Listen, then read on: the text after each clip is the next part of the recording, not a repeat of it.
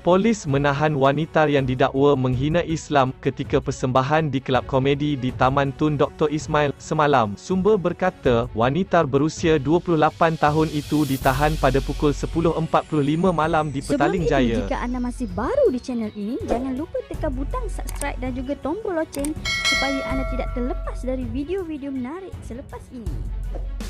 Suspek yang mendakwa berasal dari Kuala Kangsar Perak itu ditahan sepasukan pegawai dan anggota dari unit siasatan jenayah terkelas Jabatan Siasatan Jenayah Bukit Aman. Polis turut merampas beberapa barangan termasuk baju kurung, tudung, sket pendek dan telefon bimbit yang dipercayai dipakai wanita berkenaan semasa membuat persembahan itu, katanya. Sementara itu, Setiausaha Polis Malaysia, Polis Diraja Malaysia, Datuk Norsiah Muhammad Saaduddin memaklumkan suspek direman selama 3 hari bermula hari ini hingga 12 Julai ini bagi membantu siasatan. Suspek kini ditempatkan di Ibu Pejabat Polis Daerah IPD Brickfields ketika ini dan siasatan masih diteruskan katanya dalam kenyataan hari ini. Sebelum ini, video berdurasi 54 saat menunjukkan seorang wanita ketika persembahan di kelab komedi di TTDI mendakwa dirinya beragama Islam serta menghafal 15 juzuk Al-Quran sebelum tiba-tiba menanggalkan baju kurung serta tudungnya hingga mendedahkan aurat.